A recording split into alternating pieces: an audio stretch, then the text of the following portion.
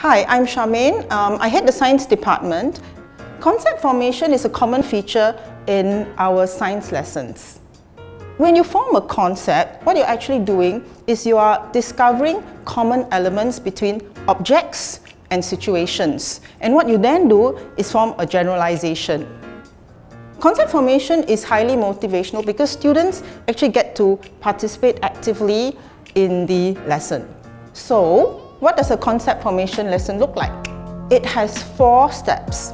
The first one is exploration. The second is the discovery phase. Third is forming a generalization. And lastly, the students will apply the concept to a new situation.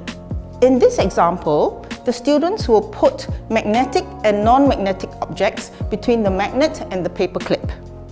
When the students put a magnetic object between the magnet and the paper clip, the paper clip will fall onto the bench.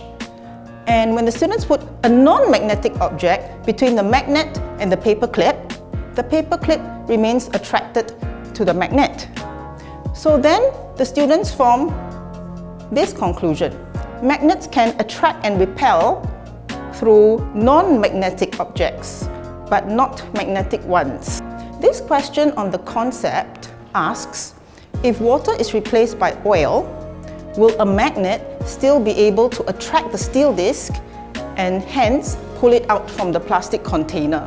The answer is yes, it will be able to do that because oil, like water, is non-magnetic in nature and hence the magnet will still be able to attract the steel disc through it.